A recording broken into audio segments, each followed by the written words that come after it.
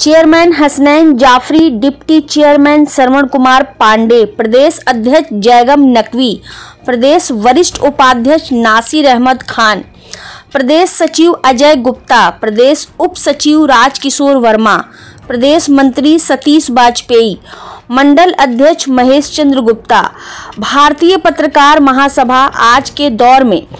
भारतीय लोकतंत्र के चौथे स्तंभ की गिरती हुई गरिमा को यदि कोई बचा रहा है तो वह है भारत का स्वतंत्र पत्रकार। जरा पल भर को सोचिए कि कोई स्वतंत्र पत्र, पत्रकार किसी विभत्स हिंसा को कैमरे में कैद कर रहा हो।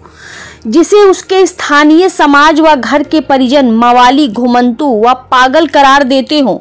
वह पत्रकार अपनी जान की परवाह न करते हुए भागते, चिल्लाते अपनी पहचान बताते हुए दंगाइयों द्वारा मारा जाए तो उसकी पहचान की ज़िम्मेदारी कौन लेगा?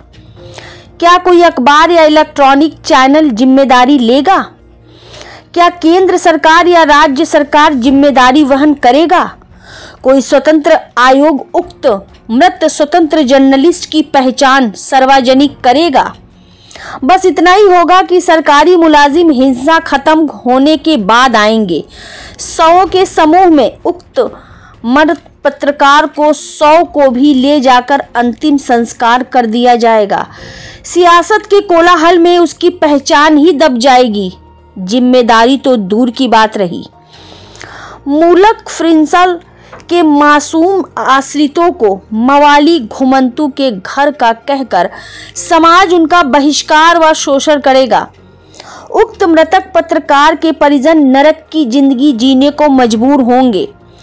उक्त परिकल्पना सच्चाई के धरातल पर वर्तमान में परि, परिलिखित हो रहे हैं। स्वतंत्र पत्रकार को इसी पहचान व ज़िम्मेदारी की असीमित पीड़ा को भारतीय पत्रकार महासभा बखूबी समझता हुआ महसूस करता है। यही कारण है कि संगठन की सुप्रीम कमेटी 24 घंटे सप्ताह के सातों दिन हर विपरीत मौसम व वातावरण में पीड़ित पत्रकारों की आवाज़ को सुनकर स्थायी समाधान हेतु तट पर रहता है।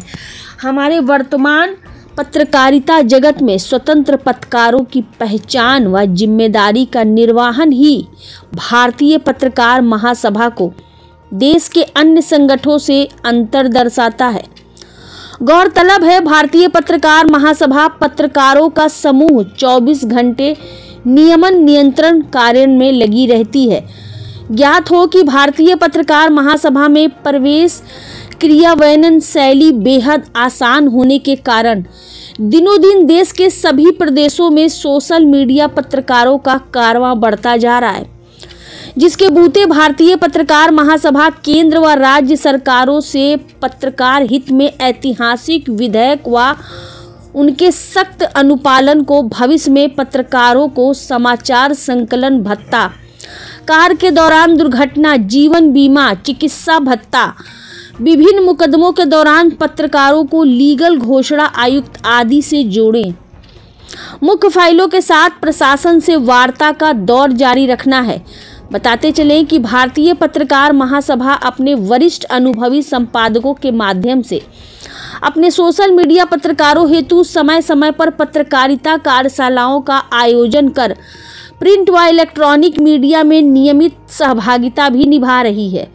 वर्तमान कार्यशैली को देखकर कहा जा सकता है कि आने वाले दिनों में भारतीय पत्रकार महासभा देश की दशा व दिशा को सकारात्मकता देने में एक वृहद आंदोलन साबित होगी। जिलाध्यक्ष मोहम्मद अहमद चुन्नई, जिला उपाध्यक्ष प्रदीप तिवारी, जिला उपाध्यक्ष राजा कुरैसी, संगठन मंत्री मोहम्मद जमाल जिला उपाध्यक्ष अपर्णा राय, जिला सचिव रानी खान, जिला सचिव राजेंद्र कुमार, प्रभारी सैफ खान, कानपुर जिला अध्यक्ष उमेश यादव व भारतीय पत्रकार महासभा परिवार के सभी सदस्य गणों की उपस्थिति में आज की मीटिंग का समापन हुआ। पत्रकार महासभा का आपको अपने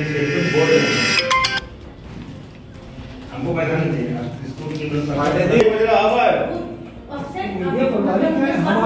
जल्दी जल्दी आ जा आप जल्दी आ नारायण चाय वाली गली प्लीज़ प्लीज़ खत्म है अभी बात कर रहे हैं और मीटिंग में है।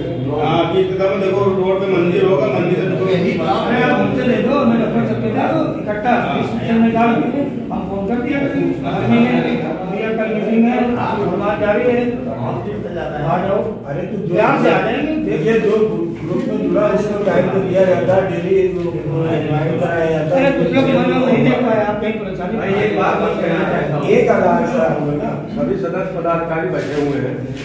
ये लेखा जोखा सैकड़ों में आप चले हैं कचहरे में चले हैं घूम रत्ती खाने बहुत बहुत मतलब पुराने जमाने की जो है बिज़नेस बने रखी है।